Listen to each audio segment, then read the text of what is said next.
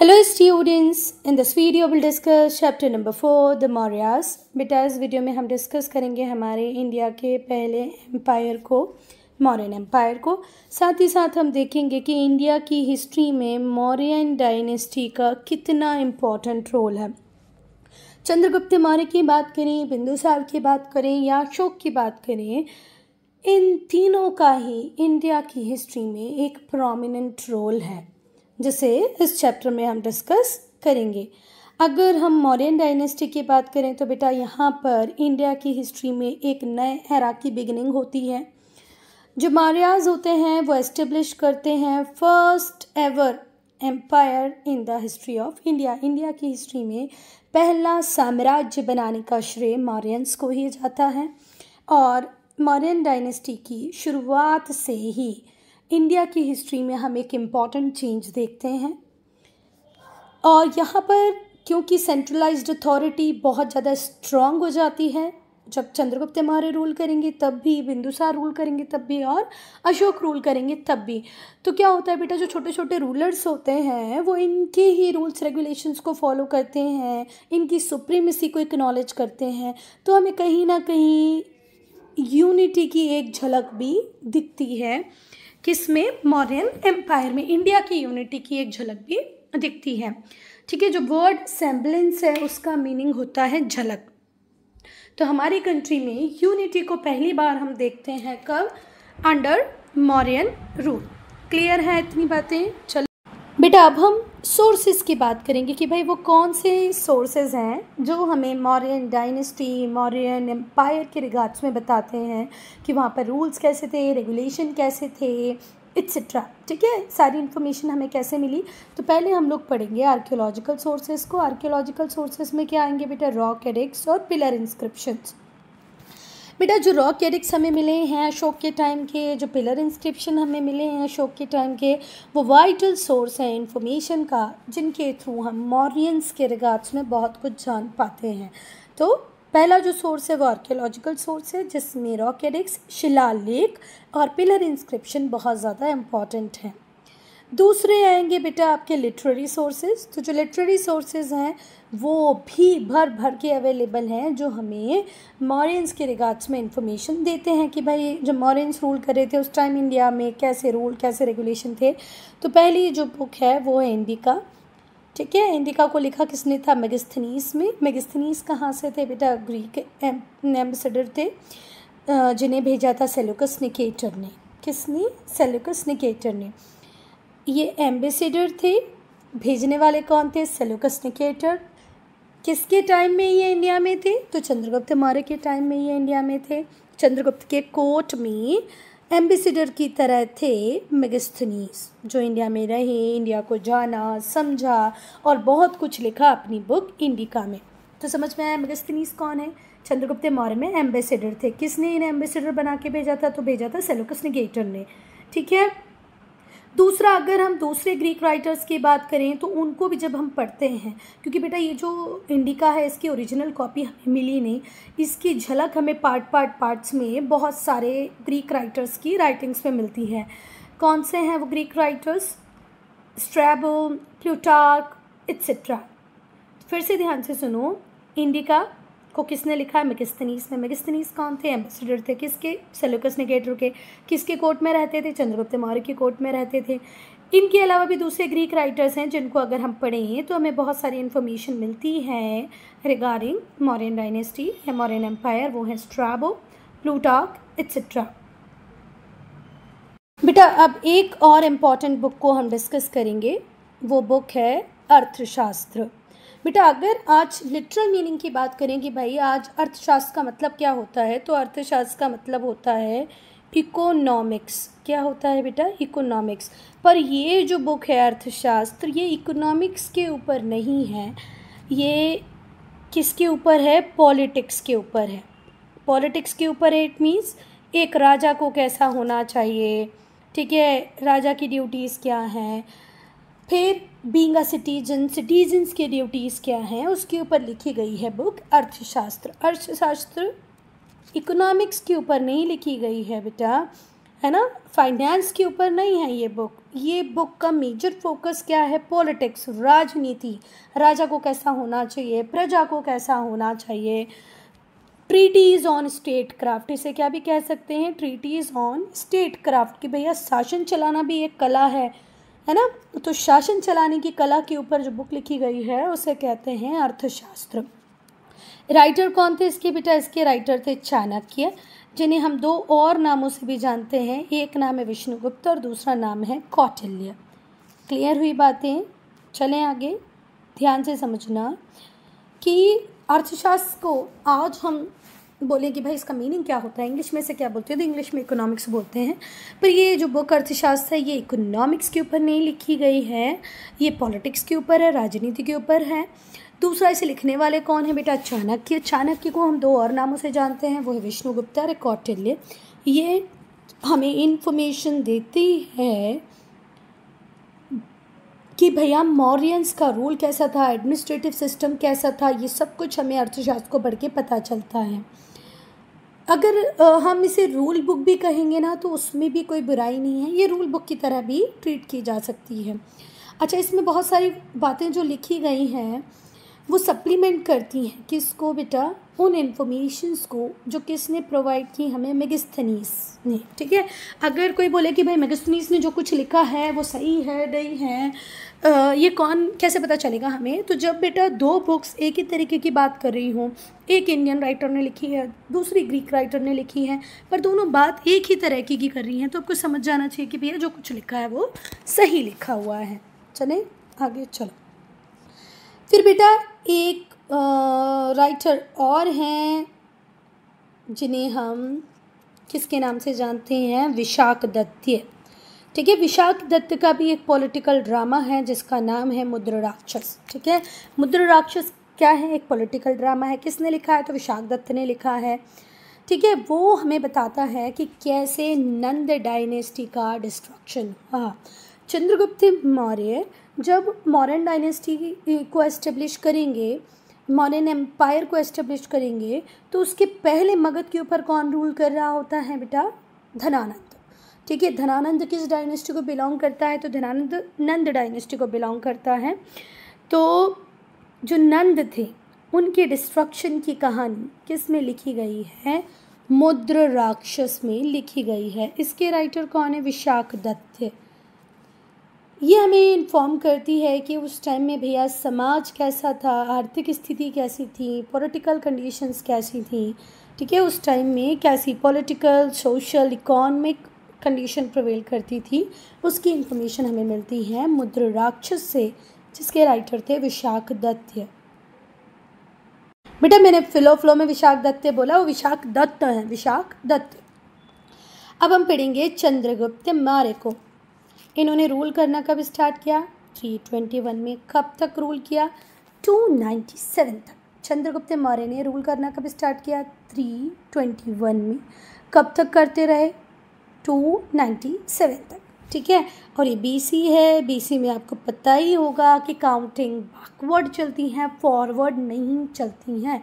BC stands for before Christ और आज हम इसे बी ई बोलते हैं बिफोर कॉमन एरा तो बिफोर क्राइस्ट आपको जो डेट्स मिलेंगी कैसी मिलेंगी? बैकवर्ड काउंटिंग में मिलेगी ठीक है? तभी तो रूल कब से स्टार्ट किया? थ्री ट्वेंटी वन से। और कब तक करते रहे? टू नाइन्टी सेवन है ना? तो उल्टा चलता है। चलो जैसे अगर मैं नरेंद्र मोदी की बात करूँ तो भैया इन्होंने इंडिया आ, में एज अ पीएम कब से काम करना चालू किया? तो काम करना चालू किया टू थाउज़ेंड फोर्टीन से। फिर पहला कार्यकाल कब तक चला? नाइनटीन तक। दूसरा कार्यकाल कब तक चला? ट्वेंटी फोर तक। और अब ट्वेंटी फोर में फिर से ये बन गए हैं। तो कब तक चलेगा बेटा ये? ट्वेंटी नाइन तक। आई बात समझ में? तो पहली बार नरेंद्र मोदी पीएम बने टू ज़ीरो वन फोर में। दूसरा कार्यकाल स्टार्ट किया टू ज़ीरो वन नाइन में। तीसरा कार्यकाल स्टार्ट किया टू ज़ीरो टू फोर में। तो ये देखो फॉरवर्ड चल रहे हैं ना। पर बीसी में बिफोर क्राइस्ट जो काउंटिंग चलती थी, वो बैकवर्ड चलती थी। रूल करना थ्री ट्वेंटी वन में स्टार्ट किया और रूल एंड कब हुआ? टू नाइन्टी सेवन में। होप इतना क्लियर हुआ होगा बेटा आपको। बेटा अब हम बात करेंगे मौर्यन डायनेस्टी के राइस की, ठीक है? तो मौर्यन डायनेस्टी का राइस एक पॉलिटिकल फेनोमेना है। क्यों पॉलिटिकल फेनोमेना है? क्योंकि यहाँ पर कौन चेंज हो रहे हैं बेटा रूलर पहले मगध पे रूल करते थे धनानंद। पर मौर्यन के राइज के बाद, या मौर्यंस के आने से, धनानंद की जो नंद डायनेस्टी है, वो हो जाती है ख़त्म, रूल करने लग जाते हैं चंद्रगुप्त मौर्य। और इंडिया की हिस्ट्री में इसकी ग्रेट कॉन्सिक्वेंसीज हमें देखने को मिलेंगी। ठीक है, फिर से सुनो मॉरियंस का उदय, या मॉरियंस का जो राइज है, वो इंडियन हिस्ट्री में महान परिणामों वाली एक राजनीतिक घटना है। घटना तो कैसी है? पॉलिटिकल है, पर इसके परिणाम हमें हर तरफ़ देखने को मिलेंगे। ये उतनी ही रिमार्केबल है जितना कैप्टिवेटिंग इनका फाउंडर ठीक है? It is as remarkable and as captivating as its founder फिर से ध्यान से सुनो, ये अपने संस्थापक, क्योंकि मौर्यन एम्पायर के संस्थापक कौन थे? फाउंडर कौन थे? चंद्रगुप्त मौर्य। तो ये अपने संस्थापक चंद्रगुप्त की तरह ही उल्लेखनीय है रिमार्केबल है। कैप्टिवेटिंग है अट्रैक्टिव है, मनोरम है। फिर से पूरा सुनने एक बार, देखो। अगर हम बात करें किसकी, मगध में मॉरियंस के राइज की तो ये एक पॉलिटिकल फेनोमेना है, जिसकी ग्रेट कॉन्सिक्वेंसेस हैं इंडिया के हिस्ट्री के ऊपर। ये उतना ही रिमार्केबल है, उतना ही कैप्टिवेटिंग है। क्या? मॉरियन का राइज उतना ही रिमार्केबल है, उतना ही कैप्टिवेटिंग है। जितना इनका फाउंडर जो कि है चंद्रगुप्त मौर्य। और बेटा, चंद्रगुप्त मौर्य को हम इतना रिमार्केबल इतना कैप्टिवेटिंग क्यों कहते हैं? क्योंकि इन्होंने इंडिया में एक नए एरा की बिगनिंग की। यूनिटी आई इंडिया में। इम्पीरियल रूल का इस्टेब्लिशमेंट होता है। देखो, Chandragupta Maurya who ushered a new era of unity and imperial rule Chandragupta Maurya ने एकता और शाही शासन, एकता और शाही शासन के एक नए युग की शुरुआत की। अगर हम बैकग्राउंड की बात करें, अब हम पढ़ेंगे बेटा बैकग्राउंड को। तो हम चंद्रगुप्त की अर्ली लाइफ को डिस्कस करें। उसके पहले हम ये डिस्कस करते हैं कि कैसे चंद्रगुप्त मौर्य ने मौर्यंस को एक फॉर्मिडेबल फोर्स बनाया, ठीक है? मौर्यन की जो आर्मी थी उससे बेटा, जितने भी फॉरेन इन्वेडर्स थे, वो तक डरते थे तो कैसे इन्होंने ये काम कर दिखाया? पहले हम उसको डिस्कस करेंगे। फिर से ध्यान से सुनो। हम चंद्रगुप्त की अर्ली लाइफ को डिस्कस करें। उसके पहले हम ये समझने की कोशिश करेंगे, ये जानने की कोशिश करेंगे कि भाई, कैसे मौर्य मौर्यंस अपने आप को एक फॉर्मिडेबल फोर्स बना पाए इंडिया में? ठीक है? तो बेटा, अगर हम अलेक्जेंडर को नहीं पढ़ेंगे तो चंद्रगुप्त की हिस्ट्री समझो हमने आधी पढ़ी है है ना? इसलिए अब हम अलेक्जेंडर को डिस्कस करते हैं। अलेक्जेंडर राजा हुआ करते थे कहाँ के? मेसिडोनिया के। उन्होंने इंडिया को इन्वेट किया 326 बीसी में। एलेक्जेंडर जो किंग थे मेसिडोनिया के, उन्होंने इंडिया को कब इन्वेट किया? 326 बीसी में। इनके जो कैंपेन थे, उसकी वजह से बहुत सारे जो नॉर्थ वेस्ट इंडिया के किंगडम्स थे, वो डिसलोकेट हुए। उनके राजाओं को इन्होंने हराया। ठीक है? तो एलेक्जेंडर ने इंडिया को इन्वेट कब किया बेटा? 326 बीसी अब बेटा अलेक्जेंडर की अगर हम बात करें तो अलेक्जेंडर बहुत हद तक बहुत ज़्यादा सक्सेसफुल हो जाते हैं। बहुत सारे नॉर्थ वेस्ट इंडिया के किंगडम्स को ये अपने कब्ज़े में ले लेते हैं डिसलोकेट कर देते हैं। हिस कैंपेन है dislocated many kingdoms of north west India north west का अच्छा खासा एरिया अक्वायर कर लेते हैं अलेक्जेंडर। इस बुक में हमने शुरुआत में ही पढ़ा कि जो मगध है, वो कहाँ पर है? ईस्टर्न इंडिया में है। अगर बेटा आज करंट डे की हम बात करें तो जहाँ पर हमारा बिहार स्टेट है, उस बिहार स्टेट के जो गया और पटना वाला जो एरिया है, गया, पटना वाला एरिया जो है, गया डिस्ट्रिक्ट वाला एरिया वो पूरा के पूरा पहले क्या ही हुआ करता था? मगध। अभी देखो एलेक्जेंडर यहाँ पर है। है ना? एलेक्जेंडर यहाँ से इन्वेट करते हुए आ रहे हैं छोटे छोटे एरिया को जीतते हुए आ रहे हैं और यहाँ इस टाइम बिहार में किसका रूल है? मतलब मगध में किसका रूल है? तो मगध में रूल कर रही है नंद डायनेस्टी और नंद डायनेस्टी के कौन से रूलर रूल कर रहे हैं? तो वो हैं धनानंद. फिर से ध्यान से सुनो इंडिया के नॉर्थ वेस्ट पास से धीरे धीरे करके एक एक एक एक एरिया को जीतते हुए आ रहे हैं एलेक्जेंडर और उस टाइम में यहाँ पर रूल किसका है? नंद डायनेस्टी के धनानंद का. चलो तो मगध अभी आपको समझ में आया, मगध कहाँ पर है? इंडिया के ईस्टर्न साइड में है। ये एक पावरफुल स्टेट था। जब नॉर्थ वेस्ट इंडिया में एलेक्जेंडर के इन्वेजन्स हो रहे थे, तब मगध के बेचारे लोग बहुत ही परेशान थे। टिर्निकल रूल किसके टिर्निकल रूल से? नंद किंग। नंद किंग के अत्याचारों से। और नंद किंग भी कौन थे? धनानंद। धनानंद के अत्याचारों से भयंकर परेशान थे कौन? मगध के लोग। तो एक तरफ़ तो हमारा नॉर्थ वेस्ट प्रॉब्लम झेल रहा है भैया फॉरेन इन्वेजन से। दूसरी तरफ़ हम देख रहे हैं कि हमारे ईस्टर्न पार्ट में एक रूलर हुआ जो कि बहुत ही क्रूवल था, जो टिर्निकल रूल चला रहा था अपनी प्रजा के ऊपर। तो वहाँ पर प्रजा किससे परेशान थी? धनानंद से परेशान थी। Armed conflict was the only way to shake off the yoke of foreign rule और अब बेटा फॉरेन रूल अब अलेक्जेंडर तो ग्रीक के थे ना तो उनको तो हमें इंडिया में आने नहीं देना है। तो क्या करना पड़ेगा? तो आर्म रिबेलियन आर्म्ड कॉन्फ्लिक्ट होना बहुत ज़रूरी था। और यहाँ पर एक दूसरी चीज़ भी बहुत ज़रूरी थी। वो थी नंद डायनेस्टी का ख़त्म होना, क्योंकि लोग बहुत ज़्यादा परेशान थे। इतना ऑपरेसिव था ना धनानंद कि लोगों को समझ में नहीं आ रहा था जिए कि मरे। तो धनानंद से छुटकारा भी लोगों को चाहिए है और फॉरेन इन्वेडर्स को भी इंडिया में नहीं आने देना है। दोनों ही सिचुएशन ऐसी थी जिनको टैकल करना बहुत इंपॉर्टेंट था। तो समझ में आ गई बात? चलो फिर से देख लो एक बार। आर्म रिवेलियन अकेला तरीका था जो शेक ऑफ़ कर सकता है फॉरेन रूल के को स्टार्ट होने से। इंडिया में फॉरेन रूल को अगर वहीं के वहीं रोकना है, जो इम्पोर्टेंट टेरिटरीज उन्होंने एक्वायर कर ली, उन्हें भी वापस लेना है तो आर्म्ड कन्फ्लिक्ट तो करना ही पड़ेगा। दूसरा, एक और चीज़ को एंड करना है, वो है tyrannical rule of Nanda Nanda dynasty के इस क्रूअल रूल को भी ख़त्म करना था। अब बेटा हम डिस्कस करेंगे चंद्रगुप्त मौर्य की अर्ली लाइफ को। तो अगर हम चंद्रगुप्त मौर्य की बात करें तो इनकी अर्ली लाइफ इनका पावर में आना दोनों ही बहुत इंटरेस्टिंग है। बहुत इंटरेस्टिंग स्टोरी है इनकी अपनी लाइफ की भी। अगर हम बुद्धिस्ट ट्रेडिशन की माने तो बुद्धिस्ट ट्रेडिशन के अकॉर्डिंग चंद्रगुप्त के जो पापा थे, वो चीफ थे, मुखिया थे, कहाँ के? पिपलवन के। अब पिपलवन कहाँ पर है बेटा? तो देखो, गोरखपुर यूपी से लेके नेपाल तक का जो तराई रीजन है, उस उसके बीच में कहीं पे प्लेवन हुआ करता था। गोरखपुर यूपी से नेपाल तक का जो तराई रीजन है, उसके बीच में कहीं पे प्लेवन हुआ करता था। और फिर जो इनके पापा हैं, वो एक बार लड़ाई कर रहे होते हैं अपने नेबरिंग किंगडम के रूलर से। पहले तो राजाओं में लड़ाई होना कॉमन बात थी। छोटे छोटे एरिया को लेके कुछ कुछ बातों को लेकर ये लड़ते ही रहते हैं। तो जब इनके पापा नेबरिंग किंगडम के रूलर से फाइट कर रहे थे तो उनकी डिफ़ीट होती है, उनकी हार होती है और उन्हें मार दिया जाता है। अब इस वजह से चंद्रगुप्त की मम्मी, चंद्रगुप्त की जो मम्मी होती हैं बेटा, इस वजह से मजबूर हो जाती हैं और बहुत ही गरीबी में अपना जीवन जीने लगती हैं। These are reduce Chandragupta mother to a state of poverty बहुत ज़्यादा परेशानी में लाइफ आ जाती है किसकी? चंद्रगुप्त मौर्य की मम्मी की। She was compel to seek shelter in Pataliputra और वो कहाँ पर शरण ले लेती हैं? पाटलिपुत्र में शरण ले लेती हैं।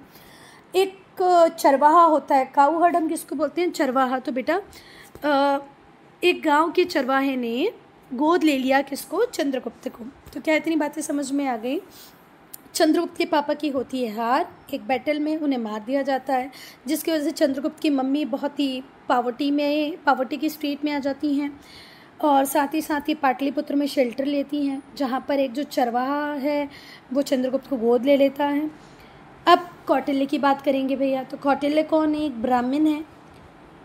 अब ये बहुत ही लॉन्ड ब्राह्मण है अच्छा ये एक बार धनानंद के कोर्ट में जाते हैं धनानंद से बात करते हैं कि देखो फॉरेन इन्वेडर इंडिया की तरफ़ आ ही रहे हैं। अगर हमने अभी कुछ कड़े कदम नहीं उठाए तो हो सकता है ये इन्वेडर इंडिया में आ जाए और आपका रूल भी खतरे में आ जाए। तो यहाँ पर धनानंद क्या करते हैं? बहुत ज़्यादा ह्यूमिलिएट करते हैं कौटिल्य को कि भाई, तुम्हें क्या पता? मेरा राज्य इतना शक्तिशाली है है ना? मेरे राज्य में कोई नज़र उठा के भी नहीं देख सकता तो वो क्या फ़ॉरन इन्वेडर वो तो इंडिया में नहीं आएगा, तुम अपना काम करो। इस तरीके से वो बहुत ज़्यादा ह्यूमिलिएट कर देते हैं किसको? चंद्रगुप्त। वो सॉरी चंद्रगुप्त का नहीं, कौटिल्य को। तो जो कौटिल्य है, वो एक ब्राह्मण है, जिनकी बेइज्जती बहुत ज़्यादा कर रखी है किसने? धनानंद ने। तो वो नंद को, धनानंद को ये प्रॉमिस करके जाते हैं कि भाई, तेरे डायनेस्टी का अंत तो मैं ही करूँगा। तेरी डायनेस्टी अब ज़्यादा दिन चलने नहीं दूँगा। एक ब्राह्मण जिनकी शिखा जो छोटी ब्राह्मण रखते हैं ना, पीछे आप लोगों ने देखा होगा, इसको बोलते हैं शिखा। तो ये शिखा को पकड़कर उनको बाहर निकाल दिया जाता है। इससे बड़ा ह्यूमिलिएशन ब्राह्मण के लिए कोई भी नहीं होगा। तो इस वजह से बहुत ज़्यादा दुखी होते हैं चाणक्य और दुखी होकर वो रोते नहीं हैं। वो चुनौती दे देते हैं कि उसको धनानंद को, कि तू रुख बेटा, आप तेरा अंत निश्चित है। चंद्रगुप्त को देखते ही कौटिल्य के मन में विचार आता है भाई, यही है वो बालक जो मेरा काम कर सकता है। तो वहीं से चंद्रगुप्त को अपने साथ ले जाते हैं कौटिल्य और उनका पूरा एजुकेशन आर्ट ऑफ़ वॉरफेयर सब कुछ सिखा देते हैं कौन? कौटिल्य, किसको? चंद्रगुप्त को। चंद्रगुप्त को देखकर कौटिल्य को एक विश्वास जागता है, भैया, ये लड़का बड़ा होकर कुछ करेगा, ये मेरे काम का बच्चा है। तो उसको ले जाते हैं। And took him under his tutelage tutelage का मतलब क्या होता है? अध्यापन कराना दिशा निर्देश देना। तो प्रॉपर गाइडेंस चंद्रगुप्त को कौन देते हैं? कौटिल्य देते हैं। Thereafter Kautilya train Chandragupta और फिर प्रॉपर ट्रेनिंग चालू हो जाती है चंद्रगुप्त की और ट्रेनिंग देते कौन है? कौटिल्य। वॉरफेयर मतलब युद्ध सिखाया जाता है, उन्हें पॉलिटी मतलब राजनीति सिखाते हैं स्टेट क्राफ्ट एक राज्य को कैसे चलाना है, ये सिखा देते हैं, सब कुछ कौटिल्य किसको? चंद्रगुप्त को। In short Chandragupta receive training that befitted a king इस तरीके से अब चंद्रगुप्त को तैयार किया जा रहा था कि भैया आने वाले किसी बड़े किंगडम का रूलर कौन ही बनेगा? चंद्रगुप्त। और क्योंकि कौटिल्य को बर्बाद करना था किसको? नंद डायनेस्टी को। तो ये बात पक्की थी कि अब आगे जाके चंद्रगुप्त किसको ही रूल करेंगे? मगध को रूल करेंगे। अब बेटा, जो सिचुएशन केओटिक चल रही थी वेस्टर्न और ईस्टर्न पार्ट में वेस्टर्न पार्ट में foreign invasion eastern part eastern part में नंद का क्रूवल रूल ये दोनों ही सिचुएशन ऐसी थी जिसका एडवांटेज लेने के लिए कोई उधार ही बैठा था और वो था चंद्रगुप्त और उसके पीछे बैकिंग थी किसकी? कौटिल्य की। तो अब ये जो पॉलिटिकल टर्मोइल है, इसका एडवांटेज कौन लेते हैं? चंद्रगुप्त लेंगे। अब ये पॉलिटिकल टर्मोइल की सिचुएशन किसकी वजह से आई? अलेक्जेंडर के इन्वेजन की वजह से आई। और साथ ही साथ मगधियंस, मगध में जो लोग रह रहे थे, उनके डिसकंटेंट उसके असंतोष से आई थी ये पॉलिटिकल टर्मोइल वाली सिचुएशन है ना? ये डिसकंटेंट जो था मगध के लोगों का किसके टूवर्ड्स था? नंद के टूवर्ड्स था। चंद्रगुप्त ओवरथ्रू कर देते हैं नंद को और रूलर बन जाते हैं 321 बीसी में। 321 बीसी में अब मगध को मिलेगा एक नया रूलर किसके फॉर्म में? चंद्रगुप्त के फॉर्म में। और यहाँ पर कसम किसकी भी पूरी हो जाती है? हमारे चाणक्य की भी पूरी हो जाती है। तो बेटा, जैसे ही चंद्रगुप्त मौर्य मगध के रूलर बनेंगे तो सबसे पहला काम तो यही होगा इनका कि अपनी पोजीशन को क्या करें? कंसलाइडेट करें, अपनी परिस्थिति, स्थिति को मज़बूत करें, ठीक है?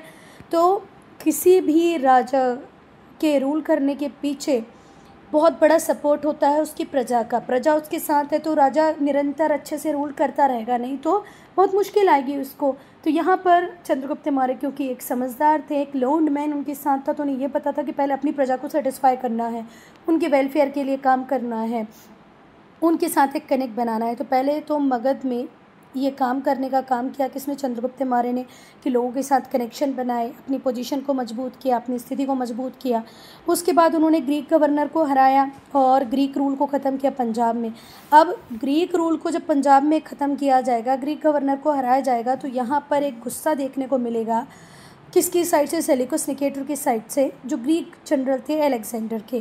कब? थ्री ज़ीरो फाइव बी में। अब जब ग्रीक गवर्नर को बेटा तुम हरा रहे हो तो जो उसकी बाकिंग में खड़ा सेल्यूकस निकेटर है, वो तो तुमसे नाराज़ ही होगा। तो यहाँ पर बहुत नाराज़ हो जाते हैं। कौन सेल्यूकस निकेटर क्योंकि सेल्यूकस निकेटर नाराज़ थे, है ना? क्यों नाराज़ थे भाई? क्योंकि उनका अक्वायर किया हुआ एरिया चंद्रगुप्त ने अपने कंट्रोल में ले लिया था। तो वॉर तो होनी ही थी बैटल तो होनी ही थी। तो बैटल हुई किस किस के बीच में? सेल्यूकस और चंद्रगुप्त के बीच में। यहाँ पर सेल्यूकस की होती है हार और सेल्यूकस के पास कोई ऑप्शन नहीं बचता, उसे एक पीस ट्रीटी साइन करनी पड़ती है किसके साथ? किसके साथ? चंद्रगुप्त के साथ। और इन रिटर्न उसे मिलते हैं five hundred elephant Seleucus ceded eastern Afghanistan Balochistan and area beyond Indus river अब इंडस रिवर के बियॉन्ड जो एरिया अक्वायर कर रखा था सेल्यूकस ने, उसको वो भी छोड़ना पड़ता है अफ़गानिस्तान छोड़ना पड़ता है। ठीक है? सेल्यूकस को क्या क्या छोड़ना पड़ता? है ईस्टर्न अफ़गानिस्तान साथ ही साथ बलूचिस्तान और वो एरिया जो उसने अक्वायर कर रखा था इंडस रिवर के ईस्ट साइड में, ठीक है? वो भी उसको चंद्रगुप्त को देना पड़ता है। एन एम्बेसडर ऑफ़ सेल्यूकस और सेल्यूकस के एम्बेसडर जिनका नाम होता है मेगस्थनीस जिन्होंने लिखी थी बुक हिंदी का, वो रहने लगते हैं चंद्रगुप्त मौर्य के कोर्ट में। जो मौर्यन एम्पायर है बेटा, जब चंद्रगुप्त रूल कर रहे थे तब, बहुत ही एक्सपांड हो जाता है, बहुत ज़्यादा इसका एरिया बढ़ जाता है। The Mauryan empire under Chandragupta extended towards the north west up to the border so Persia north west में ये कहाँ पर बॉर्डर टच कर रहा था? पर्शिया फिर से ध्यान से सुनो, अगर ये इंडिया है तो हम यहाँ की बात करें। यहाँ पर बॉर्डर किससे टच कर गया था? पर्शिया ठीक है? और ईस्ट में कहाँ तक था? ये बिहार तक था। और वेस्ट में कहाँ तक था? सौराष्ट्र तक था, यहाँ तक था। और साउथ में नेल्लौर डिस्ट्रिक्ट ऑफ़ मैसूर, यहाँ तक इतने बड़े एरिया को कंट्रोल कर रहे थे चंद्रगुप्त मौर्य। अब हम बात करेंगे बेटा बिंदुसार की तो बिंदुसार रूल करना कब स्टार्ट करते हैं? 297 में और कब तक करते हैं? 272 बीसी तक। बीसी में हमने पहले ही बात की कि काउंटिंग बैकवर्ड चलती हैं। जैन सोर्सेज के अकॉर्डिंग जब चंद्रगुप्त मौर्य की लाइफ का एंड हो रहा होता है मतलब जब उनको लगने लगता है कि यार अब कुछ बचा नहीं है जीवन में अब सब छोड़ देना चाहिए तो वो जैनिज्म को एम्ब्रेस कर लेते हैं। कौन? चंद्रगुप्त मौर्य जैन सोर्सेज के अकॉर्डिंग चंद्रगुप्त मौर्य अपने लाइफ के एंड ईयर्स में किसको एम्ब्रेस कर लेते हैं? जैनिज्म को। और जब वो जैनिज्म को एम्ब्रेस कर लेते हैं, राजपाट छोड़ देते हैं तो उन्हें सक्सीड करते हैं कौन? उनके बेटे बिंदुसार कब टू नाइन्टी सेवन बी में। ठीक है? राजा बन गए बिंदुसार। चंद्रगुप्त मौर्य ने जैनिज्म को एम्ब्रेस कर लिया है। बिंदुसार के फ्रेंडली रिलेशन रहे सल्यूसिड किंग ऑफ़ सीरिया के साथ, जिनका नाम था एंटियोकस ठीक है? फिर से ध्यान से सुनो। जैन सोर्सेज के अकॉर्डिंग चंद्रगुप्त मौर्य, एक टाइम के बाद जैनिज्म को एम्ब्रेस कर लेते हैं और चंद्रगुप्त मौर्य को सक्सीड करते हैं उनके अपने बेटे बिंदुसार कब? Two ninety seven B C में।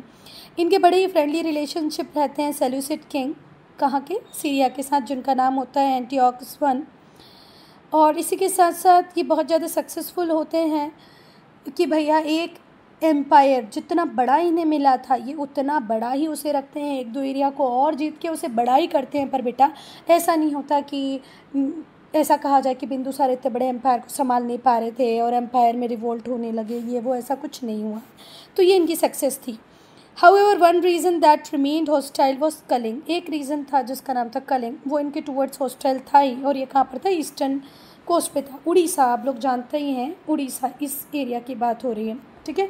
तो उड़ीसा अब तक इनके कंट्रोल में नहीं आ पाया था। पढ़ेंगे किसको? अशोक को। तो अशोक ने रूल करना कब स्टार्ट किया? 269 में। कब तक रूल किया? 232 बीसी तक रूल किया। अशोक किसके बेटे थे? बिंदुसार बिंदुसार किसके बेटे थे? चंद्रगुप्त। तो चंद्रगुप्त के बाद रूल करने आए बिंदुसार और बिंदुसार के बाद रूल करने आए अशोक। कुछ हिस्टोरियंस का मानना है कि अशोक जितना महान राजा भारत इतिहास में कोई दूसरा नहीं हुआ। कुछ हिस्टोरियंस इन्हें महान राजाओं की तरह देखते हैं कि भाई ये बहुत महान राजा थे। अगर हम अर्ली लाइफ और अचीवमेंट्स की बात करें तो बेटा बहुत सारा जो नॉलेज है हमारा regarding the history of Ashoka reign ये किस पे बेस करता है इंस्क्रिप्शंस पे? जो किसके ऊपर एनग्रेव्ड है? रॉक्स के ऊपर पिलर्स के ऊपर। ठीक है? पर कोई भी इंस्क्रिप्शन इनकी अर्ली लाइफ के बारे में बात नहीं करता। अशोक ने राजा बनने के बाद क्या क्या किया? लोग कितना खुश थे? है ना? अशोक ने कैसे बुद्धिज़्म को एम्ब्रेस किया, कैसे कलिंग को जीता? तो ये सारी इन्फॉर्मेशन तो हमें मिल जाती है इंस्क्रिप्शन के ऊपर, जो कि एनग्रेव्ड है रॉक्स के ऊपर और पिलर्स के ऊपर, पर उनकी अर्ली लाइफ के रिगार्ड में हमें बहुत कुछ पता नहीं मिलता। So we have to turn to the literary sources of the period इसीलिए हमें किसको देखना पड़ेगा बेटा उस टाइम के लिटरेरी सोर्सेज को? कुछ लिटरेरी सोर्सेज हैं जो ये बताते हैं। बेटा अगर हम लिटरेरी सोर्सेज की बात करें तो लिटरेरी सोर्सेज के अकॉर्डिंग ऐसा भी कहा गया है कि भाई अशोक ने जो थ्रोन लिया वो नाइन्टी नाइन ब्रदर्स को मार के लिया मतलब अपने निन्यानवे भाइयों को मारने के बाद अशोक ने थ्रोन लिया असप्ट करना मतलब कब्ज़ा लेना हड़प लेना। ठीक है? यूजर्ब्ड ये ये क्या लिखा है वर्ड यूजर्ब्ड ठीक है? तो आ, कुछ लिटरेरी सोर्सेज ये कहते हैं कि अशोक ने यूजर्ब किया थ्रोन को थ्रोन को हड़पा अपने नाइन्टी नाइन ब्रदर्स को मारने के बाद। पर हिस्टोरियंस डिसमिस करते हैं कि भैया ये तो एग्जागरेशन है, निन्यानवे भाई हो सकते हैं। कितनी शादी की होंगी इनके पापा बिंदुसार ने? नाइन्टी नाइन ब्रदर्स पॉसिबल ही नहीं है। कुछ हिस्टोरियन इस बात को बहुत अच्छे से मानते हैं कि भाई अशोक का राजा बनना इतना आसान भी नहीं रहा होगा, इतना स्मूथ अफेयर भी नहीं था। तो जो हिस्टोरियन है जो इस बात को डिस्कार्ड करते हैं कि निन्यानवे भाइयों को मार के नाइन्टी नाइन ब्रदर्स को किल करके अशोक राजा बने वो इस बात को कम्प्लीटली डिस्कार्ड करते हैं, कहते हैं कि ये तो एग्जागरेशन ऐसा हो ही नहीं सकता। पर ये इस बात को भी बिलीव करते हैं कि अशोक का जो एक्सेशन हुआ उन्हें जो ताज मिला, है ना, वो जब राजा बने तो ये एक स्मूथ अफेयर भी नहीं था, कुछ ना कुछ कॉम्प्लिकेशंस तो थे। अब हम कलिंग वॉर को पढ़ेंगे बेटा तो कलिंग वॉर कब हुआ? 261 बीसी में हुआ। अशोक के एडिक्स जो हैं, शिलालेख जो हैं, उसमें से एक शिलालेख ऐसा है जो मिलिट्री कैंपेन की बात करता है और किस मिलिट्री कैंपेन की? कलिंग वॉर की जो कब हुआ? 261 बीसी में हुआ। भाई अशोक क्यों कर करना चाहते थे कलिंग को? अब हम पढ़ेंगे। क्यों अशोक जीतना चाहते थे कलिंग को? पहली बात तो कलिंग नंद रूलर्स के अंदर ही था पर क्योटिक सिचुएशन का फ़ायदा उठाते हुए इन लोगों ने क्या किया? अपने आप को इंडिपेंडेंट घोषित कर लिया। पहले ये थे न, मतलब नंद डायनेस्टी के अंदर ही थे है ना? पर बाद में जब इन लोगों ने देखा कि बहुत ही क्योटिक सिचुएशन आ रही है तो इन्होंने अपने आप की, अपने आप को इंडिपेंडेंट राजा बना लिया, अपनी इंडिपेंडेंस को अजर्ट कर लिया। तो ऐसा लगता था अशोक को कि भैया, जितना भी नंद को मारकर एरिया हमारे कंट्रोल में आया है तो उसमें कलिंग भी हमारे पास आना चाहिए था, जो कि नहीं आ पाया है तो अब उसे लेना मेरा कर्तव्य है। दूसरा, जो मेजर कॉज था, कलिंग कॉन्क्वेस्ट का वो ये था military strength R C Majumdar ये बात कहते हैं कि कलिंग की पॉपुलेशन बहुत ज़्यादा थी पॉपुलस स्टेट था, ठीक है? इकोनॉमिकली कलिंग बहुत इंपॉर्टेंट था क्योंकि ये लैंड और सी रूट को कंट्रोल करता था जो साउथ ईस्ट एशिया की तरफ़ जाते थे। तो इनको लगने लगा कि भाई यार कलिंग तो मेरे पास होना ही चाहिए। तो आर सी मजुमदार के अकॉर्डिंग जो दूसरा रीज़न है कि भाई क्यों अशोक कंट्रोल करना चाहते थे कलिंग पे, वो ये है कि एक इंपॉर्टेंट ट्रेड रूट था सी रूट लैंड रूट दोनों का कनेक्शन था किसके तरफ़? साउथ ईस्ट एशिया अगर आपको जाना हो तो आपको कलिंग का कंट्रोल बहुत इंपॉर्टेंट था। इकोनॉमिकली प्रॉस्पर था पॉपुलस था, एक पावरफुल स्टेट था। बहुत ही फाइस बैटल हुआ। कलिंग के राजा और अशोक के बीच में बहुत सारी कजल्टीज़ हुई। और इन कजल्टीज़ को आपको देना है, देखना है कि भाई कितने लोग मारे गए, कितने लोग घायल हुए, कितना ब्लड शेड हुआ तो आप अशोक के रॉक एडिक थर्टीन को पढ़ें। बेटा, अब हम कलिंग वॉर के इम्पैक्ट को देखेंगे। तो कलिंग वॉर के बाद अशोक बहुत ज़्यादा दुखी थे, उनके अंदर पश्चाताप की फीलिंग थी, वो बहुत ज़्यादा दुख में डूब गए थे। Acting upon his feeling of remorse sorrow दुख में, पश्चाताप में अशोक बिल्कुल त्याग देते हैं कि भैया मैं एग्रेसिव वॉर तो करूँगा ही नहीं, अपने पूरा जीवन मैं वॉर नहीं करूँगा। बेटा, अशोक का वॉर को छोड़ देना, अपनी तलवार को वापस से म्यान में रख लेना, इस तलवार, इस वॉर की हेल्प से ये तमिल कंट्रीज़ को और जीत सकते थे, पर इन्होंने ऐसा नहीं किया। ये इंडिया की हिस्ट्री में एक यूनिक इवेंट था, या पूरी इम्पीरियलिज्म साम्राज्यवाद के जो इतिहास है, उसमें एक यूनिक इवेंट था। साम्राज्यवादी क्या होता है बेटा? जब एक छोटे एरिया पे बड़ा कोई रूलर जो ज़्यादा पावरफुल रूलर होता है, वो जब छोटे एरिया को अपने कंट्रोल में ले लेता है तो इसे क्या कहते हैं? इम्पीरियलिज्म तो इम्पीरियलिज्म के इतिहास में ये एक अनोखा मौका था कि अशोक की इतनी पावरफुल आर्मी थी कि वो तमिल रीजन को भी पूरी तरह जीत सकता था, पर उसने वॉर छोड़ दिया। ये वो स्टेज थी अशोक की लाइफ की। जहाँ उसे अब जीतना ही नहीं था, और स्पेशली वॉर के थ्रू तो जीतना ही नहीं था। वो किसके इन्फ्लुएंस में आ जाता है? बुद्धिज़्म के इन्फ्लुएंस में आ जाता है। वो रिलीजन जो हमेशा शांति की बात करता है, अहिंसा की बात करता है। अब बेटा, जो अशोक होते हैं, वो बुद्धिस्ट मंक बन जाते हैं, और एज अ मंक वो बहुत सारी होली प्लेसेस को विज़िट करते हैं, जो बुद्ध की लाइफ से कनेक्टेड थी। पहले ये पहुँचते हैं बोधगया में, बाद में ये जाते हैं लुम्बिनी पार्क, जो कि बर्थ प्लेस थी बुद्धा की। Where an inscribed pillar still stand to commemorate emperor visit और वहाँ पर एक पिलर है, जो अभी तक खड़ा हुआ है, जो इस बात को बताता है कि भैया अशोक ने इस एरिया को विज़िट किया था। तो एज अ मंक जो अशोक होते हैं, बहुत सारी प्लेसेस को विज़िट करते हैं, उसमें बोध गया भी होता है, फिर वो लुम्बिनी पार्क जाते हैं, जहाँ पर बुद्ध का जन्म हुआ होता है। और वहाँ पर एक पिलर है। अभी तक वो पिलर है और वो ये बताता है कि भाई यहाँ पर अशोक आए थे। About two and a half years, Ashok remained a lay disciple after he formally joined the Buddhist Sangha and भिक्षु दो ढाई साल बाद प्रॉपर बुद्धिज़्म के प्रिंसिपल्स को फॉलो करने के बाद ये किसको ज्वाइन कर लेते हैं? एक बुद्धिस्ट संघ को ज्वाइन कर लेते हैं और भिक्षु बन जाते हैं। बेटा अब हम बात करेंगे अशोक के धम्म की। धम्म प्राकृत वर्ड है संस्कृत वर्ड धर्म के लिए। हमने पहले ये देखा कि कलिंग वॉर में जो डेथ हुई, जो डिस्ट्रक्शन हुआ, उसके बाद अशोक पश्चाताप से भरे हुए थे तो उन्होंने डिसाइड किया कि भैया आप दिग्विजय की पॉलिसी को वो रिप्लेस करेंगे और दुनिया को जीतेंगे किससे? धर्म से। धर्म विजय की बात उन्होंने की। कॉन्क्वेस्ट बाय धर्म। धर्म से जीतना था उन्हें दुनिया को। इन बेटा अगर हम बात करें अशोक के एडिक की मतलब एक शिलालेख की तो उसमें ऐसे लिखा है कि अशोक ने रिप्लेस कर दिया भैरी घोष को। भैरी घोष बोले तो युद्ध नगाड़े वॉर ड्रम युद्ध नगाड़ों के स्थान पर उसने धम्म घोष की घोषणा की, जिसे हम क्राई ऑफ़ धम्म भी कह सकते हैं। अगर मैं बात करूँ धर्म के नियमों की रिलीजियस पाइटी की, धार्मिक शुद्धता की तो ये हमेशा इंपॉर्टेंट प्लेस को होल्ड करती हैं पूरे मौर्यन किंगडम में। But what was Dhamma? अब हम धम्म को पढ़ेंगे कि धम्म क्या है, पर इसके पहले आप लोग ये जान गए होंगे। तो इस बात का बहुत ध्यान रखें बेटा, कि जब मौर्य साम्राज्य था, जब मौर्यन किंगडम था तो धार्मिक धर्मपरायणता जो लॉज थे धर्म के रिलीजियस पार्टी के, उन्हें बहुत इम्पोर्टेंट प्लेस मिला हुआ था। ठीक है? क्लियर है? बेटा, ये जो वर्ड लिखा हुआ है ना रिलीजियस पाइटी इसका मतलब होता है धार्मिक धर्म धर्मपरायणता द लॉ ऑफ़ धर्म मतलब धर्म के जो नियम कानून हैं, उसको एक इंपॉर्टेंट प्लेस मिला हुआ था मौर्यन किंगडम में। बेटा, अब हम पढ़ेंगे धर्म क्या है। तो धर्म सिनोनिम है किसका? संस्कृत वर्ड धर्म का, जो वर्च्यू मोरालिटी लॉ ड्यूटी की बात करता है। ठीक है? किस किस की बात करता है? वर्च्यू मोरालिटी लॉ और ड्यूटी की बात करता है धर्म। धर्म हम सब जानते हैं, धर्म क्या होता है?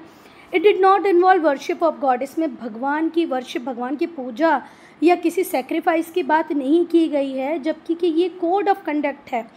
कोड ऑफ़ मॉरल्स है, जिसको हर व्यक्ति को अपने जीवन में फॉलो करना चाहिए। आप कितना पूजा पाठ करते हो, आप कितने उपास रखते हो, इससे कोई मतलब नहीं है। आप अपने जीवन में कितना एथिकल मोड को अडॉप्ट करते हो, कितने मॉरली आप सही होते हो, उसकी बात करता है कौन? धर्म। यहाँ पर धर्म पूजा पाठ से जुड़ा हुआ नहीं है। आप इन इन वर्ड्स के जब मीनिंग जानेंगे तो आपको खुद ही समझ में आ जाएगा कि क्या कहना चाह रहे हैं। वर्च्यू का मतलब क्या होता है? सदाचार। मतलब आपका जो आचार हो मतलब आपका जो बिहेवियर हो प्रॉपर हो मोरालिटी मतलब नैतिकता आपके अंदर हो, कानून हो, कर्तव्य हो, इन सारी चीज़ों की बात करता है धर्म। Rather it was a code of conduct ये कोड ऑफ़ कंडक्ट है कोड ऑफ़ मॉरल्स है, जिसे हमें अपनी लाइफ में फॉलो करना चाहिए और ये किससे इंस्पायर है? बुद्धिज़्म से।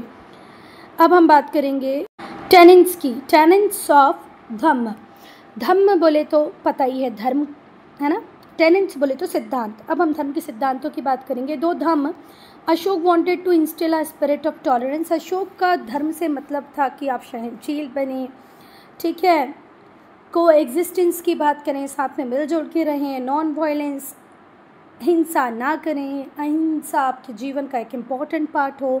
ये सारी चीज़ें अशोक इंस्टिल करा, कराना चाहता था लोगों के मन में, थो, धाम में। जो फंडामेंटल टीनेंस थे धर्म के मतलब जो प्रमुख सिद्धांत है, वो हम पढ़ेंगे ओबेदा एल्डर्स अपने बड़ों की बात सुनो। बी काइंड टू ऑल सबके साथ दयालु रहो सर्वेंट्स हो स्लेव्स हो, आपका गुलाम हो, आपका नौकर हो, सबके साथ आप काइंड रहें। रिस्पेक्ट अदर रिलीजियस दूसरे धर्मों का रिस्पेक्ट करें फॉलो द पाथ ऑफ़ अहिंसा अहिंसा के पाथ को फॉलो करें। सालवेशन पॉसिबल तभी हो पाएगा जब आपके अंदर काइंडनेस होगी मॉरालिटी होगी, आपका जीवन नैतिक मूल्यों से भरा होगा, आप लोगों के साथ काइंड रहेंगे तब ही आप मोक्ष को अचीव कर पाएँगे। अब स्प्रेड कैसे किया, इस धर्म को अशोक ने, दुनिया तक कैसे फैलाया? तो कुछ स्टेप्स ली थी इन्होंने। धर्म के स्प्रेड के लिए पहला स्पेशल क्लास ऑफ़ ऑफिसर्स को अपॉइंट किया गया, जिन्हें धम्म महात्मा कहा गया, धम्म महामात्य कहा गया। क्या कहा गया? Dhamma Mahamatya. Was created to enforce the moral code and work for the welfare of the people Dhamma Mahamatya का काम था लोगों के कल्याण के लिए काम करें, लोगों को मॉरल कोड बताएँ। सिर्फ़ बताएँ नहीं, उनसे एनफोर्स भी करवाएँ, वो उस मॉरल कोड को फॉलो करें। अशोक खुद धर्म में यात्राएँ की। अशोक ने खुद ने धर्म की यात्राएँ की, रॉयल टूर्स किए, जहाँ पर उसने धर्म की पॉलिसीज़ को लोगों को पढ़ाया, समझाया। अशोक ने मिशनरीज़ को दूसरी कंट्रीज़ में भी भेजा, जैसे श्रीलंका सॉरी सीरिया भेजा, इजिप्ट भेजा।